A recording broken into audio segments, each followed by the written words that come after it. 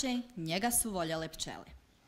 Rijetke trenutke istinskog druženja dijelio je sa svojim udruženjem kluba paraolimpijskih sportova, Baton, gdje je nalazio drugove istih sudbina i uskoro u pedalj istih hrana i ožiljaka. Sa njima je putovao tamo gdje nikada sam ne bi otišao. Stigao je i do Turske. Tako na putovanju autobusom do Istambula bilo je upitno hoće li izdržati njegov aparatić koji mu je pomagao u disanju. Tu su bili drugovi koji su, kao njegove pčele, oko njega nadvijeni pratili svaki njegov treptaj oka, a Mirne se samo smijao i nosio onaj svoj dražesni osmih do Bosfora. Prosuo ga baš tamo gdje se spajaju dva kontinenta. Možda je on i tada znao da neće imati drugu priliku, no nije pokazivao ništa svojim drugovima do vedra duha i široka osmiha. Bolest je bila okrutna. Uz njega su bili drugovi, njegovi batonci, kako se međusobno vole oslovljavati. Tražili su lijeka i nadali se. Bilo je i napredaka. U tim trenucima Mirnes bi odlazio svojim pčelama koje su ga neobično voljele. Ostajao bi pored košnica zadugo, kao da je pričao s njima. Da li je imao ljubav? Jer se još nije bio oženio ili su pčele popunile mjesto u već oslabljenom srcu. Ostaće nam nepoznanica. Samo svaki put kada bi dolazio od svojih pčela bio je veseli. Nekako je zračio onom toplinom koje nema na svakom licu. Nosio je taj fini, medni trag.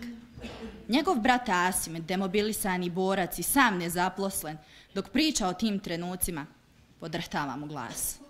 Kaže, Mirnes je prošlu godinu koja je bila izuzetno medonosna, skoro sav prikupljeni med podijelio. Nije ga želio prodati. Samo je dijelio, a onda je bolest uznapredovala. Sve je teže sakupljao snagu da ode do svojih pčela. Početak novembra ove godine Mirnes je izgubio ovu posljednju utrku. Izdahnuo je na rukama svog brata Asima u 41. godini života, stalno pominjući uzvišenog gospodara. Nakon par noći od preseljenja na onaj ljepši svijet, njegova majka sa ima usnila je san. Kaže, došao je Mirnes sa onim osmijehom, kao kada se tek zamomčio, širokim i nevinim, sav nekako sretan. Gleda ga majka na nekakvoj cvjetnoj livadi, razigran baš kao jedna od njegovih pčela, sa željom da sleti na svaki cvijet. Čist, veseo i nasmijan, sred te mirišljave livade, kakva se samo da usnu vidjeti, rekao je majici. Draga mama, nemoj plakati. Znaš kako sam bio bolestan i nisam mogao disati. Evo me, sad sam dobro. Meni je dobro, mama. Zaiskrila je suza u krajičku oka brata Asima, a onda nastavi. Valjda dobri ljudi koji na ovom svijetu nisu osjetili dobra, zato i odlazi. Ne znam. Ja sada pazim njegove pčele, ali ne da mi se pomisliti da ga nema. Sve mislim, Mirnes je tu. Mora biti je kod pčela. Kada ga ne nađem tamo, hodim do njegova mezara. Znam da ću ga tamo naći. Eto, još mislim da je tu. Završi čovjek priču o bratu, ratniku, invalidu, koga više nema. Hvala.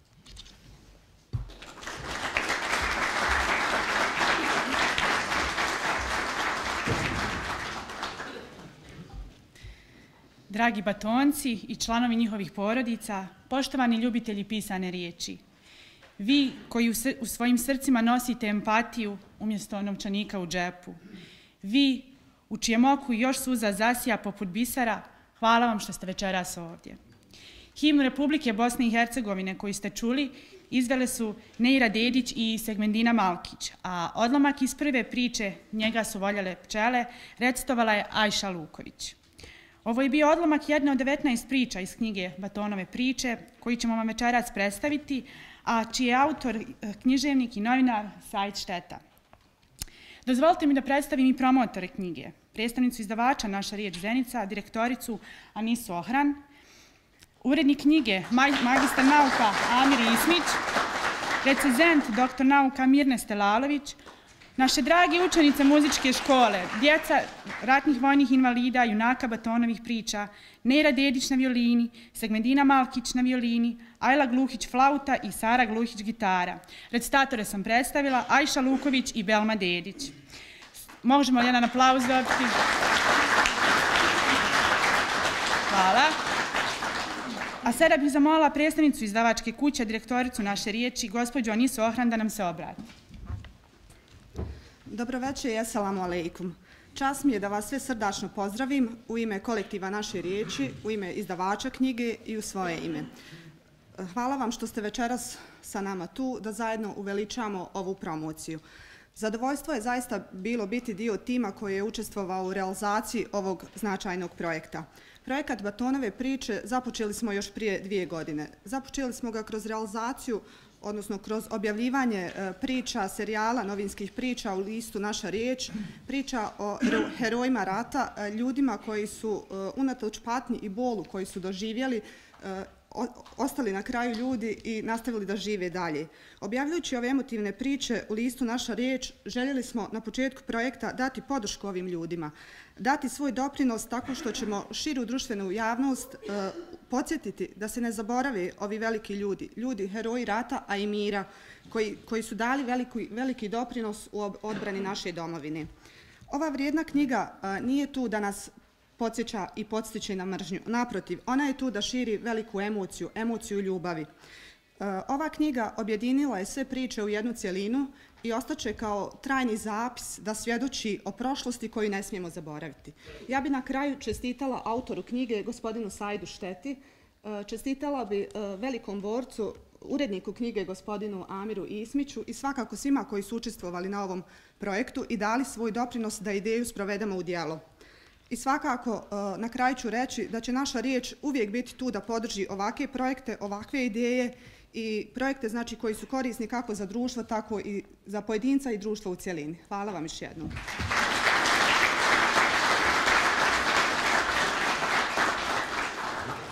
Hvala gospođe Ohran, a sada bismo zamolili gospodina Ismića da nam se obrati. Evo zbijem šeitan rađim. Bismillahirrahmanirrahim. Hvala vam što ste došli, sve vas selam i pozdravljam. Lijepo je kad kad se jedan hajili posao privede kraju, a ovaj posao ja ne znam je li se priveo u kraju ili je tek počeo. Ovako. U nekoliko teza ću vam to pokušati, pa ćete me, ja vas zamolio da me propratite, u kontekstu da ostavi jedna pouka, jedna spomena ovo, na ovo sve što se dogodilo.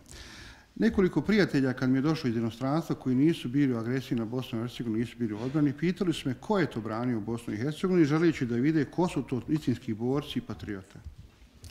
Kada sam im ja pokazao na cesti moje saborce i prijatelje koji su bili i ostali ratni vojni invalidi, borci, ljejani i tako dalje, i svi su onda rekli, pa to nisu oni mišićavi ljudi poput u filmovima, oni, oni, oni markantni, oni veliki ljudi, to, to, kao što se to predstavlja u američkoj distribuciji. Rekli su da su to obični ljudi. A ja sam onda govorio ljudima, objašnjavao da borci Armije Republike Bosne i Hercegovine su bili jedna vrsta muđize, jedna vrsta čuda. Zašto? To su bili obični momci iz Mahale, iz Mekteba, iz društvene zajednice, koji su živjeli sasvim normalnim životom. I onda su, usled pojave agresije, postali pravi, pravcati lavovi, koji su nesebično do zadnjega toma snage branili Bosnu i Hercegovini. Bilo je, ja kao pripadnik armije sa 19 godina, bilo je začuđujuće zaista da vidite kako jedan mladić koji dolazi u borbenu jedinicu postaje lav, ide naprijed, nosi mitraljez i tako dalje i tako dalje. Neko je njemu dao snagu, nekoga je nadahnuo. Nekomu je dao posticaj da se bori do zadnjeg atoma, da gubi dijelove tijela i da pogine, da ne žali. I taj ko je to njemu dao, ja, to je nesumljivo Allah Đerašanuhu i hvala mu na tome. S druge strane, rat je se završio, 25 godina je prošlo i sve pada u jednu vrstu zaborava. A da bi druž, široj društvenoj zajednici, širokom auditoriju, skrenuli pažnju, ko su ti bili ljudi, mi smo na neki način u udrženju matičnom u kojem smo postojali i radili, pokušali kroz ove priče našeg dragog Sajda da predstavimo te ljude koji su, eto, na neki način pristali da kažu. Znači, svaki čovjek je jedna priča, svaki čovjek je jedna, jedna, jedan roman. I vjerujte, zaista, svi mi nosimo koji smo učestvovali, i žene, i naše majke, i sestre, svi smo mi priča za sebe, i roman za sebe, i tako dalje, i tako dalje. Šta to znači i zašto se to pokrenulo? Baton će u nekoj novoj budućnosti se okrenuti za valaštvo. Ima jedna ružna, tužna činjenica, pardon, Postoji podatak da je u zadnjih 25 godina eh, s ovoga svijeta otišlo, dva, eh, otišlo, hiljadu, uh, otišlo stotinu zlatnih hiljana. Znači, preselilo na Ahiret. Znate koliko je otišlo boraca, ranjenika, boraca i tako dalje. Svaki je sa sobom umeza rodnio svoju priču i svoj roman i mi smo izgubili mogućnost da spasimo to zaborava i osjećamo, da, da zaboravimo, da, da sačuvamo to i ovaj, spasimo to. Na neki način, Evo mi smo kroz ovu knjigu uspjeli 19 ljudi sačuvati na neki način da ostavimo. Knjiga se čita u dahu, pogledajte to. Ja sam malo prikupio knjigu, iako imam neko svoje izdanje. Ja sam kupio knjigu želeći time da dam simboliku da se knjiga kupi. Vjerujte, oni koji je čitaju, čitaju u jednom dahu. E, uz knjigu se plaće, jako interesantno, uz knjigu se plaće i ti ljudi koji su petorca nisu s nama, ja vas molim posle mog izlaganja da proučite Fatihu za njih. Petorca nisu s nama i mi ćemo ako boda otići. I ono što želim da kažem jeste da mi ovom pričom, ovim pričama, želimo da skrenemo društvenoj zajednici pažnju, da ljudi su kukaju stalno, mi na neki način svojim životom, svojim stradanjem i svojim buđenjem poput Feniksa iz pepela želimo da kažemo da smo živi, da se ne treba predavati, da treba nastaviti dalje i mi bez obzira na naše rane koje smo znači, zadobili, i dalje smo se uspravili i širokoj društvenoj zajednici pokazali što znači biti ponosan, što znači biti moralan i častan i što znači biti uzorom, uzorom u društvenoj zajednici. Ja se ovdje zahvaljujem Jali Ređiću, predsjedniku Zlati Ijana, koji je bio, bio član komisije da se odobre inicijalna sredstva. Zahvaljujem se našoj riječi, zahvaljujem se ministru Sinanoviću, Čolakoviću i tako dalje i tako dalje ljudima koji su obezbijedili novac da ova knjiga izda se i da ugleda svjetlo dana. Zahvaljujem se naravno autoru koji je pratio i, i, i, i pisao i noći noći ne spavao. Uglavnom, istinski želim da ova knjiga krene, sad će Belma pročitati, te nekad noći kasno kad je se Sajdi ratio, nazvao me i rekao da je završio zvaničnu knjigu u 11 sati, ja sam otkucao neki njemu tekst i to je sad, Belma će to pročitati, šta sam ja to njemu poručio. Istinski želim da ova knjiga uđe u svaku našu kuću, želim da je pokazujete, želim da plaćete, da predajete rahmete i da vašu djecu odgajate u duhu naših boraca, šehida.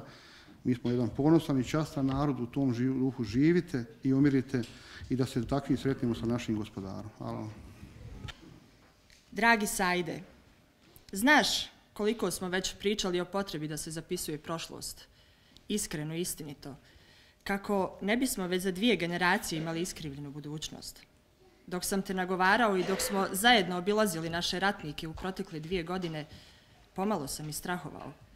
Jer svakim danom nas je sve manje i manje, a svaki borac koji ode sa sobom odnese i svoju priču na onaj svijet. Pet naših junaka iz priča je otišlo. To nam je amanet od naših šehida. Zato, radi onih koji će čitati kada nas više ne bude, želim ti poručiti ovo. Tako mi je stalo da makar jedna rečenica iz ovih priča promijeni ljude na bolje. Da budu dobri. Da razmišljaju kako će graditi mir i ljubav međusobno. Nikako rat. Da uče i nauče. Da im ove priče budu ogledalo kako se voli domovina. Naša Bosna i Hercegovina. Domovina koja voli ljude, dok je gaze svojim stopalima ne pitajući se da li je svaka stopa boli da zavole njezine rijeke koje kao suze klize između zelenih planina, da vole ljude. Ako smo to uspjeli mi, koji smo ostavili mladost na nekoj zaboravljenoj bosanskoj stazi, mi, koji smo na nepoznatom proplanku iskrvarili sve svoje želje, ali ne i nadu, jer nadu nismo gubili nikad, jer smo imali vjeru, jer smo vjerovali. Vjera uzvišenog gospodara pomogla je da pobjedimo i mržnju. Vjera je pomogla da savladamo hendikep, da zagrlimo naše porodice, naše prijatelje, naše komšije, da vratimo sebi osmijeh na lice i da ga dijelimo kao sadaku. Zato molim dragog Allaha da ova knjiga bude pokretač pozitivne ideje i rada bosanaca i hercegovaca u BiH i dijaspori, ali i cjelokupnog Ademovog i Muhammedovog umeta. Sajde, neka tvoje priče afirmišu ljude Vične Peru širom Bosne i Hercegovine, da u našim gradovima poteče rijeka sličnih priča o najboljim sinovima naše lijepe Bosne i Hercegovine. Za nauk svim generacijama koje će doći. Ovoj knjizi želim iskreni uspjeh, a za tebe, Sajde, molim Allaha da te obilato nagradi i to onom nagradom kako to samo njemu dolikuje. Amin. Amir Ismić, urednik.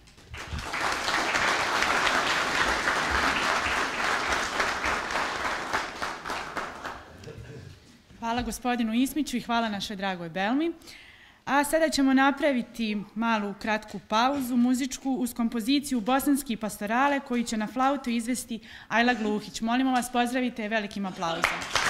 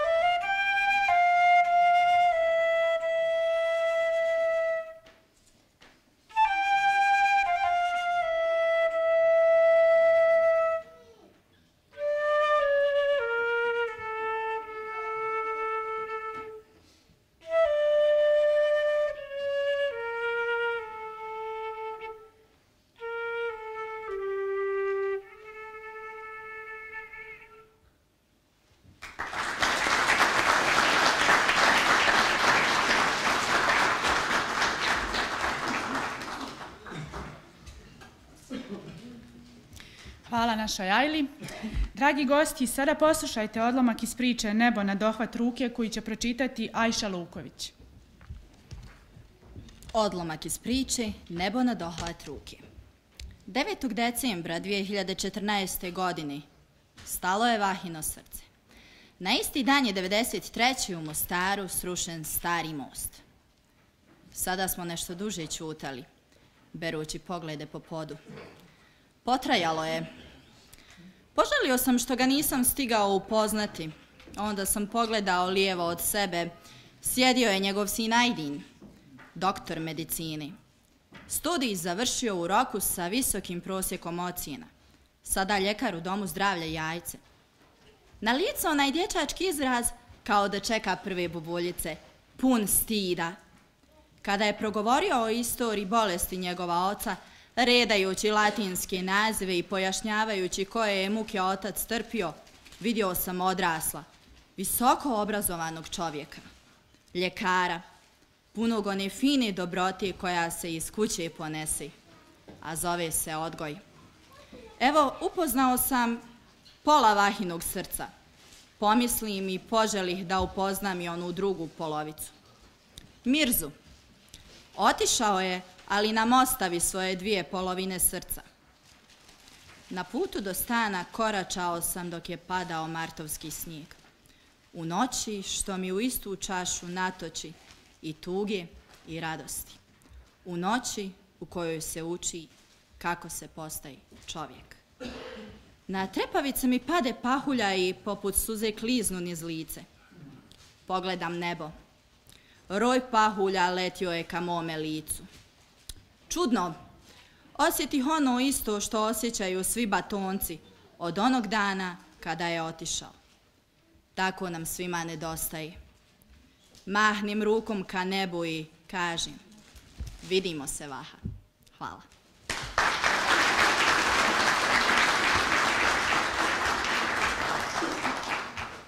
Hvala, Ajša.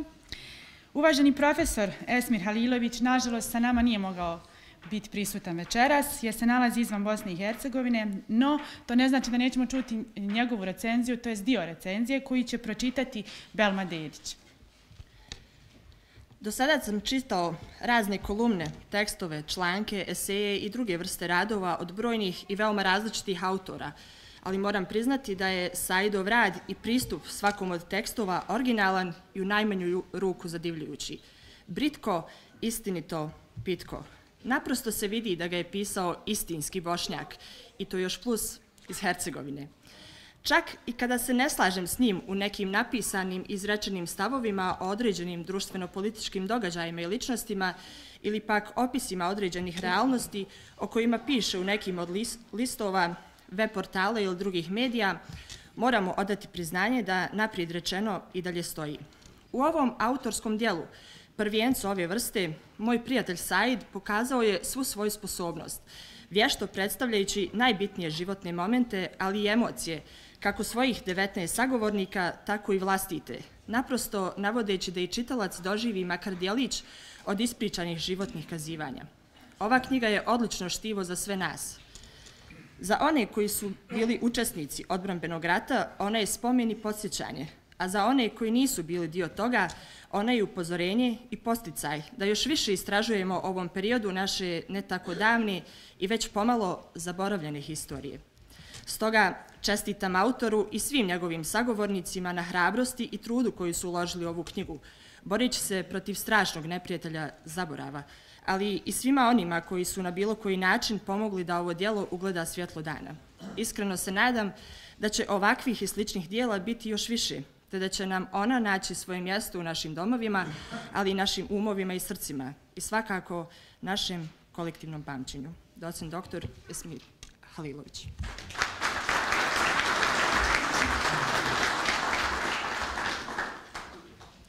Hvala Belmi. A nešto više o knjizi reći će nam recenzent dr. nauka Mirne Stelalović, te će nam i predstaviti svoju recenziju. Evo koristim priliku prije svega da vas sve poselamim, poželim dobro večer. E, naravno koristim priliku i da se zahvalim svima vama koji ste izdvojili svoje vrijeme da danas prisustujete ovoj promociji vrlo značajnog, ja bih rekao, dokumenta. E, dozvolite mi prije nego što više kažem, nešto više kažem o knjizi, dvije stvari. Jedna, zaista sam razmišljao šta večeras da kažem. Eh, imao bih potrebu i volio bih da ima mogućnost da satima sa ovog mjesta govorim i pričam, odnosno da hvalim junake, aktere ove knjige, ovih priča. Jer oni to zaslužuju. Eh, mi smo, nažalost, vrlo često skloni kritizirati tamo i gdje treba i gdje ne treba, ali nažalost taj nekakav naš skript ne dozvoljava nam da pohvalimo tamo gdje treba i da pohvalimo. Dakle, još jedan put kažem, volio da mogu satima sa ovog mjesta da pohvalim ove ljude koji jesu danas ovdje s nama, oni i njihovi porice, osim onih pet ljudi koji su, evo, nažalost, više nisu s nama. To je jedna stvar. Druga stvar, eh, nadam se da neću biti maliciozan ako kažem i iznesem svoje sljedeće mišljenje. Mišljene sam da svaki bošnjak i svaki bosansko-hercegovački patriota u svojoj kući, dakle u svom stanu, treba da ima četiri knjige. Prva knjiga je Historija bošnjaka od profesora eh, Mustafa Imamovića. Druga knjiga je Bosanski identitet i suverenitet od profesora Ibrahimagića. Treća knjiga je Čudo bosanskog otpora, rahmetli prvog predsjednika Republike Bosne i Hercegovine, Alije Zedbegovića. I četvrta knjiga je eh, e, savrem, odnosno zove se e, Srednjovjekovna Bosna od Nadije Kljajića. Oni koji su imali priliku čitati ove knjige znaju o čemu govorim. Ovog, ovog puta dodajem i petu knjigu, a to je upravo ova knjiga, to su Batonove priče. Dakle, kad je riječ o Batonovim pričama, predstavlja to je u stvari novi spisateljski iskorak u književnosti koji nam je autor, književnik i novinar, dakle, naš dragi prijatelj Sajić Šteta, e, predstavio. Pišući o ljudima u stvari nekrunisanim herojima ove zemlje, on je izbjegao i najmanju mogućnost stvaralačke fikcije. Dakle, tako pred sobom imamo dijelo koje je dokument, dakle, rekao bi prije svega jedan historijski akt, ali doživljena priča koja treba i mora da se prenosi s koljena na koljena kako bi smo i jeli, spriječili njen zaborav. Kada je Nedžad Ibrišimović pisao recenziju za knjigu Čudo bosanskog otpora, Rahmet Jalizir Begovića napisao i sljedeći. Dakle, rijetko se kome posjeći da ima priliku napisati recenziju za knjigu u kojoj nema ama baš ništa što bi se ispriječilo otvorenoj i jasnoj preporuci da knjiga bude objavljena. E pa i za ovu knjigu mislim da se može isto kazati i isto napisati. Autor u svom senzibilitetu, književnoj književno probirljivoj riječi, vodi nas kroz živote ispričanih junaka, u stvari uči nas da su i strah i suze datoz uzvišenog gospodara. Tako je on na opipljiv način oslikao ne samo živote junaka njihovih priča, nego i živote njihovih porodica. To su stvari priče glavnih, a opet sporednih junaka čuda bosanskog otpora. U metodološkom smislu, tek se sastoji 19 sličnih stvarnih ljudskih priča koje čine pomeni jednu cijelinu. Svaka priča svojstven je u stvari arhivski zapis o jednom vremenu, o jednom čovjeku, dakle svojevrsna jedna etnogeneza. Iako su priče različite, to je uvijek ona isti sporedni junak u glavnoj ulozi u vremenu izazova, posebnog karaktera, snage duha i vjere u istinu. Gledano opet sa sociološkog aspekta, autor nas na komplementaran i rekao bih jedan avangardan način upući na društveni problem organizacije ljudi koji su zasigurno ostavili jedan dubog trag u bosansko-hercegovačkoj historiji. Zapravo, govori o hrabrim, neobičnim, autentičnim ljudima kakvi koji su svoju vjeru, ideju, čudo i istinu živjeli angažirano, ozbiljno, odgovorno i, i kao takvi zasigurno ostaće, ostavit će povijestni svjetionici jednog vremena u ovoj Bosni i Hercegovini. Radi se da kako rijetko uspjelom podhvatu koji ima ambiciju da je jedan metodološki, naučno korektan način, bez stereotipa, zasebno, a opet s jedne strane holistički, poseban književni način prepoznatljiv kod samog našeg autora, elaborira pitanje pod navodnicima običnog čovjeka i njegov bezinteresni odnos prema čovjeku i prema društvu. Koliko god autor insistirao na isključivim književnim elementima, mislim da Batonove priče htjele ili ne suočene su i sa politički osjetljivom i nedovoljno naučno i društveno obrađenom problematikom. Autor se našao pred dva, pred u stvari dvostrukim izazovom. Kako se jedne strane koncipirati i predstaviti priču koja svoje vrstnih doživlja puna emocije, sa snažnom empatijom u vremenu snažnih društvenih procesa, složenoj društvenoj stvarnosti pod navodnicima kontaminiranoj raznim ideološkim društvenim ličnim predrasudama, stereotipima, a opet s druge strane kako prezentovati istorijska iskustva koje autor jednostavno naziva priča i opet izbeći opasnost politizacije i jednog površnog pristupa. Ono što treba svakako naglasiti jeste autorova jasna književna sposobnost i očito historijsko iskustvo u odnosu na temu da firmiše junake ovih priča i da to iznese na jedan običan, pod navodnicima, način čime izaziva buru emocija i ponosa, a opet vješto demistificira stereotipe, predrasude, društvene malije ulazi i ulazi u jedno društveno naučne područje koje pomeni književnički vrlo uspješno i problematizira. Pored toga, kod autora možemo jasno, jasno prepoznati i metodološku konzistentnost i dosljednost da akribično predstavi karakter i moralne vrijednosti junaka ovih priča. Na taj način nastoji kazati na univerzalne vrijednosti čovjeka, snagu bosansko-hercegovačke porodice i bitnosti njihovog očuvanja. On dakle ne pati od strahu poštovanja, ne bira priče po interesnim mašinima, on u stvari elaborira ove izazovne teme, ostanju se na istorijske fakte, žive svjedoke i aktere ovih priča. Na svojstven način upućuje na čovjeka i njegove spoznajne vrijednosti, kako temeljne determinante čovjeka kao društvenog bića. Jako je važno i želim poručiti autoru da nastavi istraživati i pisati priče na prepoznat, unikatan, književni način, upućujući na historijske činjenice koje postaju sasvim sigurno, ponavljam, jedan povijesni arhiv. Na kraju, upoznavanjem ljudi koji su evo ovdje, među nama, o kojima autor priča, fenomena o kojem se jedva nešto zna, postoji jasno da su oni na margini. A u prvom planu su moćnici pod navodnicima.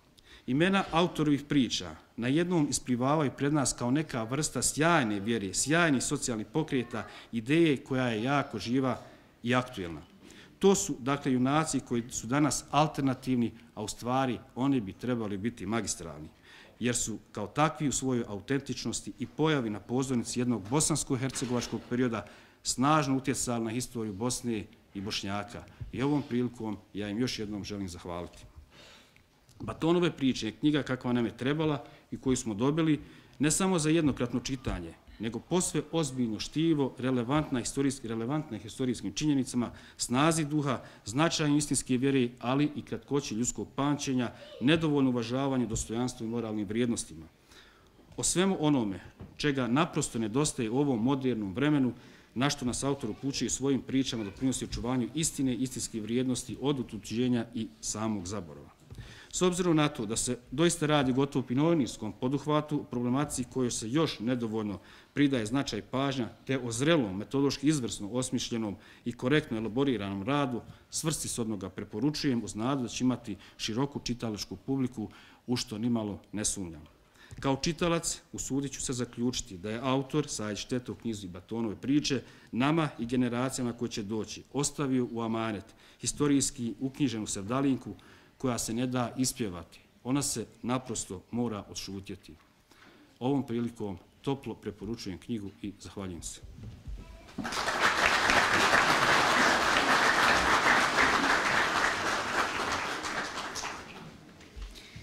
Hvala gospodinu Telaloviću. A odlomak iz priče Gazija sa dva bisera u očima pročitat će nam Ajša Luković. Odlomak iz priče Gazija sa dva bisera u očima. Vehid se glasno nasmija, podiže ruku visoko i bi mu baš potama nova pajna upadica. Opet bol ukoči lice i ruka mu pade na kutiju cigareta. S njima ja noći kratim. Da mi ih nije, ne znam šta bi. Zapali ko zna koju po redu i rukom masira noge. Čas jednu, čas drugu. Neki dan Amir ga je upitao. Šta je to vehide što ti još daje snagu da pobjediš teške bolove? Da živiš? Samo je podigao glavu i zaustavio pogled na svoje dvije kćeri. Stario je se Gmedini koja za mjesec dana završava dvije osnovne škole. Opću i muzičku, gdje svira violinu. Želi upisati medicinsku, kako reče, da liječi babu. I mlađoj Lejli koja pored škole trenira košarku, a voli i atletiku. Ta dva para očiju drže ga uramljenog kao najskuplju sliku što se čuva u nekom muzeju. Zlatna djeca. Ono su moje dvije suze, moja dva bisera, koja čuvam u ovim očima da ne padnu napod. U tom čuvanju ja zaboravim na bol. Zagrizem ovo dugme pod vratom i tako držim dok pol ne prođe.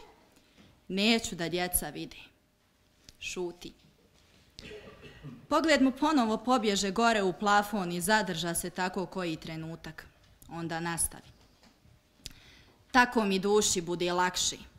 Samo da mi nije nje, klimanjem glavom pokazuje na suprugu Edinu koja sjedi na stolici bliže njegovih nogu i čeka da mu šta pomogne.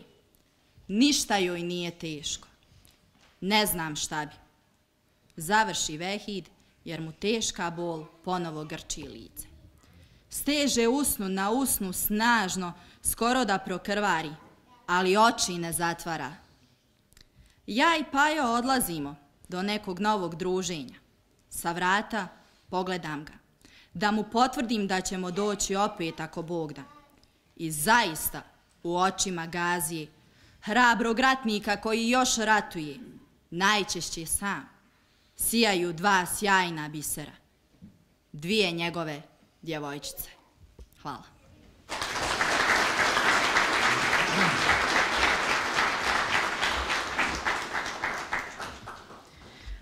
Hvala Ajša. Napravit ćemo još jedan muzički predah. Molimo vas pozdraviti aplauzom Neru Dedić koja će izvesti a kapelu Srebrenički inferno.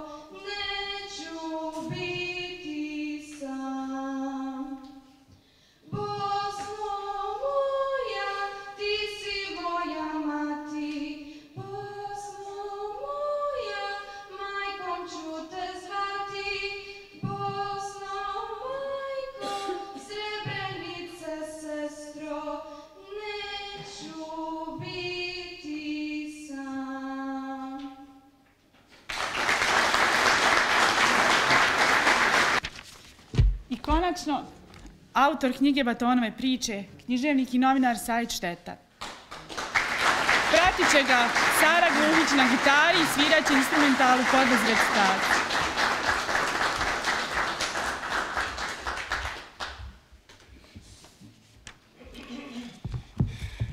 Ja bih volio da ste ovaj aplauz uputili ovim biserima, ovim dječacima i ovim djevojkama. Na njima je budućnost. Ja sam manje važan.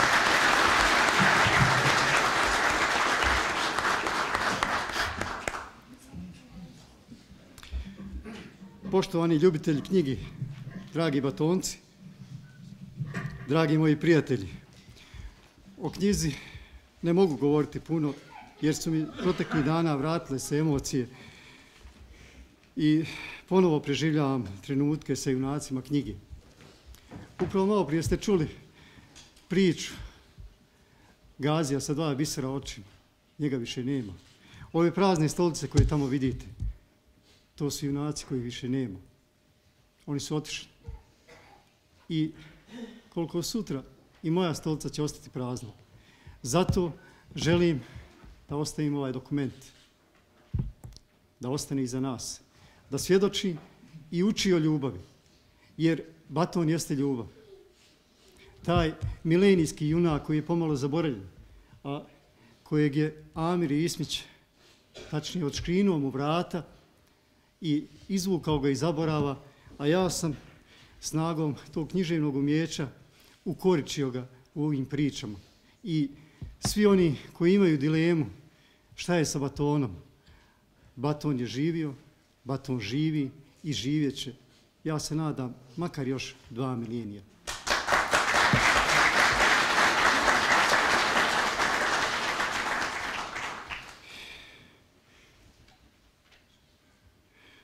O junacima mogao sam napisati i 119 priča, i 1019 priča, i 100.019 priča bilo bi malo. Kao što reče moj dragi pjesnik Izet Kiko Sarajlić, bilo ih je više nego što je u jednoj pjesmi bilo ljubavi. Sad bi bili očevi, sad ih više nema. Urednik ove knjige, Gazija, magistar, uskoro doktor historijskih nauka, Amir Ismić, prije dvije godine dao ideju za ovo. Danas sam sretan što je ta ideja došla do toga da imamo knjigu. Da imamo, kao što je naš recezent, dragi moj prijatelj, saborac, ratnik, danas doktor nauka, ugledan naučni radnik, presnik socijalnih radnika, kantona i federacije, čovjek čije znanje već nadilazi regionalne okvire, što sam jako ponosan. Mirne Stal, Telalović, prostim. On je rekao da je ovaj dokument koji treba da ostane za buduće generacije.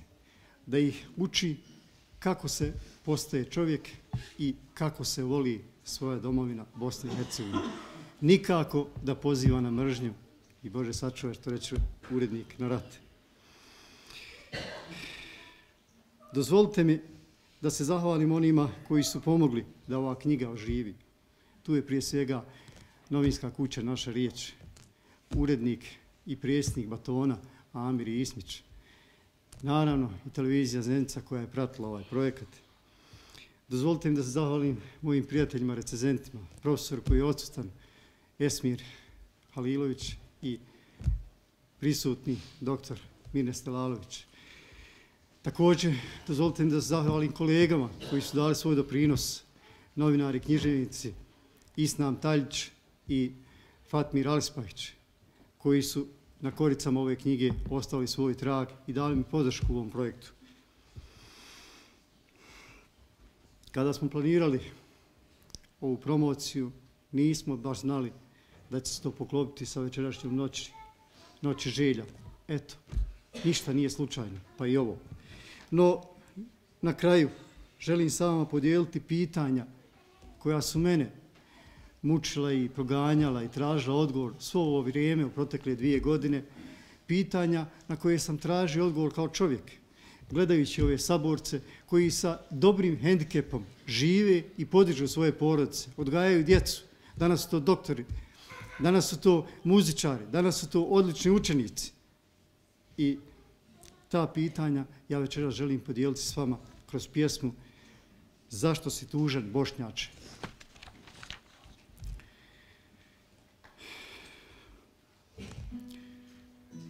Zašto si tužan Bošnjače? Ne imaš li majku Bošnjače? Pa si tužan. Ne imaš li oca Bošnjače? Pa si sjetan.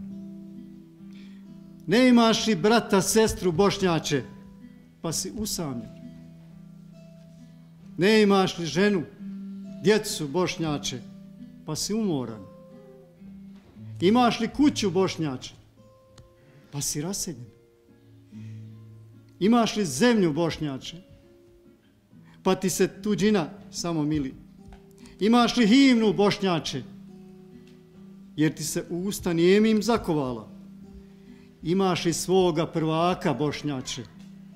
Jer hodiš zemljom bezglavo. Imaš li džamiju Bošnjače u kojoj ezan nije kujisanje? Imaš li srce Bošnjače u kojoj vjeri nije tjesno?